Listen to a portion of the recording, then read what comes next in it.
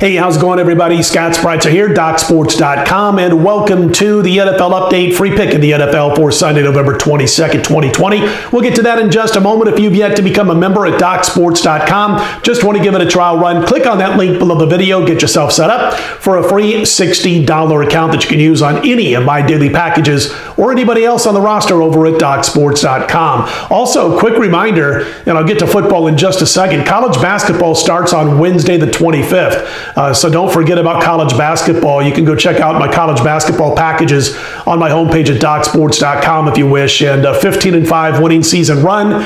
And uh, we've dove into this, if you will, and uh, uh, quite a bit over the last couple of weeks with college baskets. We're ready to go. Can't wait. Big slate on Wednesday. Also, want to mention that we do have three NFL plays to go. We've got a top play on Sunday. We've got two plays on Sunday at all. And I've got Monday Night Football between the Rams and Buccaneers all available uh, on right now over at DocSports.com on my handicappers homepage. Off to a winning start in the NFL. We cashed on Thursday night. Let's keep it going on Sunday and close out strong on Monday night. Uh, coming to you on Saturday afternoon. Let's get to it.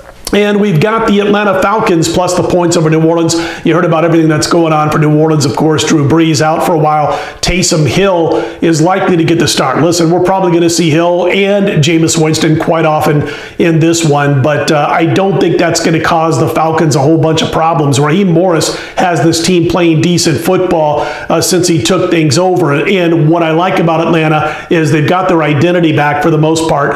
Uh, they're not a team that wants to or can run the football a whole lot. They like to throw the ball. They got the right quarterback, and I think they're going up against a defense, a secondary that they're going to be able to move the ball against. So we think taking the points is the way to go here. Obviously, it's come down a little bit uh, with the news on Drew Brees, and then eventually Taysom Hill being named the starter. Uh, but again, we like Atlanta plus the points in this one. So recommendation on the Falcons, our free pick for Sunday plus the points with Atlanta. And don't forget, we'll be right back here Sunday night with our Monday report. We'll also talk a little bit more about college baskets, and of course, we'll wrap up what happened over the weekend. All right, let's put them in the win column. I'm Scott Spreitzer, DocSports.com. We'll talk to you again on Sunday night.